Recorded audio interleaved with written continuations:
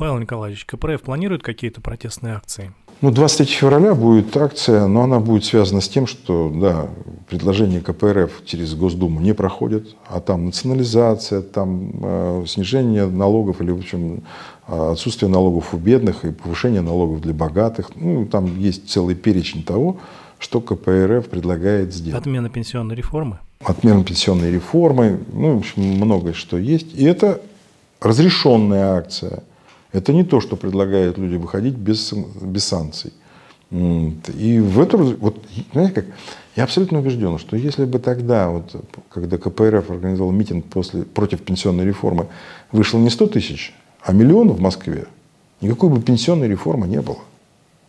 Вот. КПРФ, кстати, за пенсионную реформу с точки зрения, что нужно пенсии поднимать. Что нужно платить не такие гроши, которые сейчас платят – работники совхозов, то мы все просто в шоке. Начинаем считать пенсию, у нас очень высокие зарплаты у всех э, работников, а получают они копейки. Вот. А зачем же тогда мы наполняли этот мы, У нас всегда была белая зарплата. Да, она была высокой, но она всегда была белой. И после этого вдруг ты понимаешь, что ты работал, платил большие очень взносы, и вдруг ничего не получаешь. Вот. А получают какие-то чиновники. Вот пенсия чиновника, вот ее нужно уменьшать. Потому что он не только э, пользу, он вред принес. Сейчас, вот сейчас, подводя какие-то итоги развития района, можно сказать, что район оказался в ситуации вот именно в такой, нельзя выехать, нельзя работать начать, нельзя ребенка в школу и в детский сад устроить. Именно потому, что эти чиновники и эти депутаты принимали вот эти решения. Вот. И их нужно призвать к ответу, а им повышенную пенсию, они еще последнее заседание э, это, ну, совета, они себе еще деньги на питание выбили. Недовольство растет. Ну а почему оно должно не расти? Потому что доходы населения падают, свободы, э, ну там, вы можете пойти в магазин, забыв маску, и вас начнут крутить просто по определению. Хамство по отношению к людям, ну просто простой человек – позвонил депутату, который, кстати, зам председателя комитета, э, зам председателя совета, и начал говорить, что надо попросить, чтобы э, в автобусы можно было войти с коляской. Вместо того, чтобы начать регулировать этот процесс, когда мы вас сюда не звали, вы сами сюда приехали, вас туда сюда никто не тащил. Ну вот это хамство, оно не только вот по отношению к депутатам от КПРФ, а вот Единой России, которая ведет это, вот, но еще и просто к людям это хамство, оно прослеживается. Почему это хамство? Потому что они от людей абсолютно не зависят. Они точно знают, что на выборах все подделают. Сколько бы они там не хамили, люди будут голосовать против них, а они выиграют выборы. Потому что за них власть. И они подделают любые выборы. Почему они так безнаказанно себя ведут с точки зрения захвата земель, например? Да? Они точно знают, что за ними власть навсегда их прикроет. Всегда уголовное дело будет закрыто. Но в лучшем случае, как это случилось у нас в районе, одного главу поменяет на другого. Такого же исключительно. Тоже из Единой России. То есть он поворовал где-то в одном месте, но пришел сюда поворовать, потом еще куда-то. Потому что они в обойме. Они все э, вроде как а, делятся, видно, с кем-то, и поэтому вот и все. Выборы не работают, суды не работают. Как власть-то менять? Еще раз. Если придет 20% населения, а власть добивается того, чтобы люди не пришли на выборы, ну, потому что как вы не придете, все э, будет так, как мы скажем. Но если придет 100% населения, они не смогут фальсифицировать. Ну, просто невозможно будет. Если, например, э, я же говорю, если бы вышло там 2 миллиона человек на протест против пенсионной реформы, никакой бы пенсионной реформы не было бы. Это точно. Потому что главная логика власти, ну вот видите, большинство-то не выходит, значит оно за власть. Я слышу это постоянно, что ну, количество вышедших маленькое, а количество тех, которые, э, которых как будто бы согнали на поправку Конституции, их же большое. Слушайте, ну да, три дня мы видели, как это все происходит. Бюджетные рабы, э, работники госкорпораций, силовики – им просто конкретно сказали, ну, такая масса, им сказали вакцинироваться, они все пошли и вакцинируются. Им сказали, там, допустим, бить женщин дубинками по голове, они бьют. Есть такие люди. Что в результате получится? Мы историю России знаем очень хорошо. Согласованный массовый процесс и массовая явка на выборы, ваши рецепты. Конечно. В 2021 году какие прогнозы? Не может быть никаких прогнозов в 2021 году, потому что никто не знает, как все разворачиваться будет. Кто-нибудь вообще знал, например, что правительство поменяет в январе 2020 года? Кто-нибудь знал об этом? Прогнозировать в России что-либо, особенно политические процессы, просто невозможно.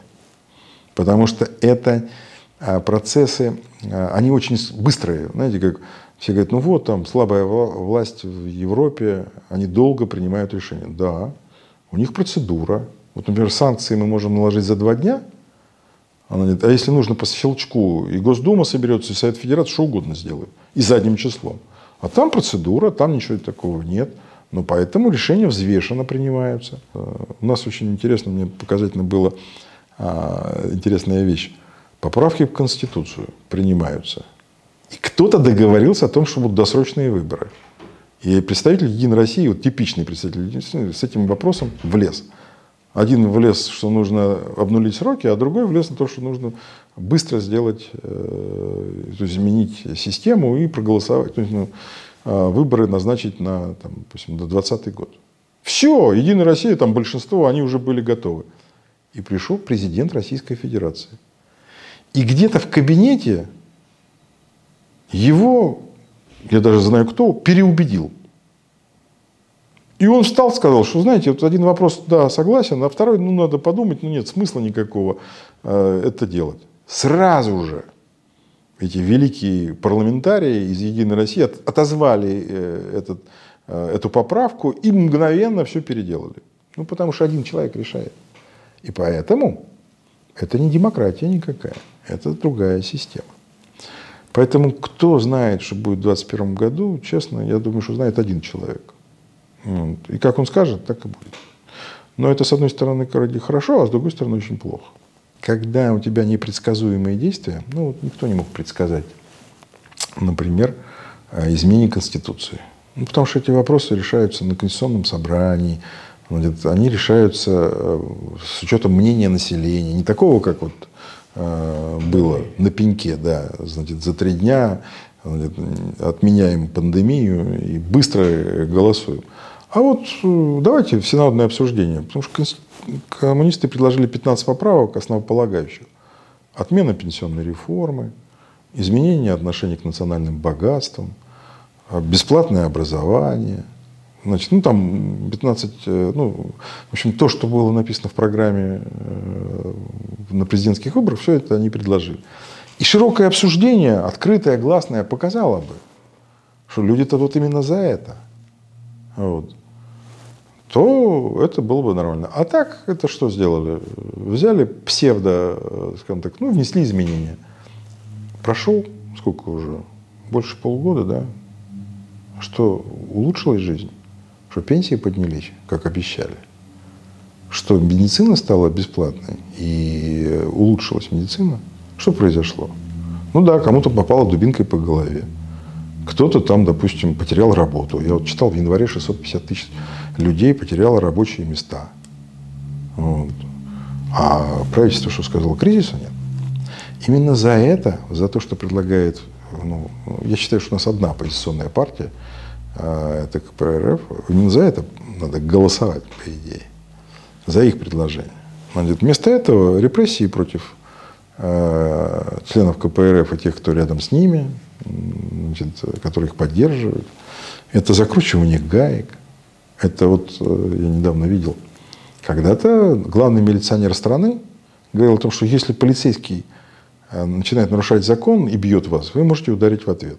Теперь даже если полицейский нарушает закон, делает что-то вообще непотребное, ты не можешь э, даже пикнуть. Потому что как только ты пикнешь, ты будешь обвинен в сопротивлении полиции и сядешь лет на 8-10.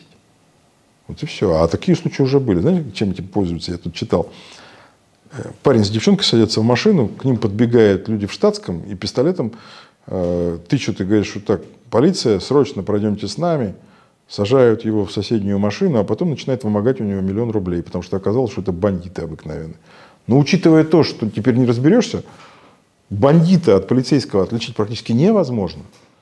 Потому что и документы можно подделать. А тут, э, то есть, они нарушают закон по определению, потому что, ну, хоть представьтесь, я, кстати, видел видео очень интересное, Человек входит в лифт в своем доме. За ним заходит человек. И ничего ни слова не говоря, начинает его крутить, ну, закручивать руки. Тот начинает сопротивляться, вырывается из лифта, к нему подбегают еще двое и начинают его тоже... Видно по, по там не, не слышно звука, но видно по видео, что они не говорят ему ничего. То есть они не, не представляются, не показывают документов. Вот. Ну и начинают его, грубо говоря, любой мужчина начинает сопротивляться, естественный процесс. 8 лет за сопротивление сотрудников ФСБ, которые не представились, ничего не сказали, и начали его просто, э, скажем так, э, лишать свободы. То ли это педофилы, то ли это, ну, я не знаю, кто это мог быть. Объяснить это невозможно. Сейчас вот увидел видео, где на разгоне демонстрации, ну пусть не санкционированные, они заклеили себе эти, э, как они называются, жетоны ленточками, чтобы не было видно, э, скажем так, номера жетона. Ну зачем тогда жетон одел? Ну, если тебе сказал начальство один жетон, то ну, зачем же заклеивать цифры? Хоть будешь знать, с кем ты общаешься. Да, но это норма. Кого-нибудь после этого наказали из э, этих полицейских? Кто-нибудь слышал? Нет. Человек идет, к нему подходит женщина, он бьет ее ногой прямо в этот в живот. Если это был штатский, что это такое? Ну, тюрьма вообще на самом деле. А если это офицер, забрала, запотела? Да у тебя же открыто забрало, на видео все видно. И что, какое нарушение? Ну, извините меня, я в стрессе. Слушайте, вся страна в стрессе, но никто же не бьет полицейских просто так. Я считаю, что э, люди, признанные защищать, а они признаны защищать, они присягу давали, они признаны защищать не олигархов, а людей, простых людей, от бандитов. Даже если эти бандиты чиновники, они должны защищать. Вот. И что в этом такого? Значит, нарушение закона значит, должно караться. И не важно, кто нарушил закон. Вот. А у нас как это все однобоко. Но вы видите, как протестная активность растет или нет? Нет, она будет расти. Пока власть не перестанет, э, скажем так, слушать только саму себя, а начнет, не начнет слушать жителей, граждан, она будет расти. Мы с тобой протесты видели какие? ШИЕС – это протест за что? За экологию. За экологию. Что, власть слышала его? Пока там не начались народные волнения фактически, и не нашли другое место для захоронения мусора из Москвы, что этот протест прекратился? Мы видели протест, когда в Башкирии священную гору пытались уничтожить. Протест дошел до прямого противостояния. Мы в Московской области видели протесты. Ядрово, э, Коломна, ну там куча. И что в результате? Власть услышала? Ну, она просто, скажем так, ничего. Вот. И поэтому ты говоришь, будет ли нарастать э, напряжение в обществе? Да, оно будет. Пока власть не перестанет э, заниматься собой, застройщиками.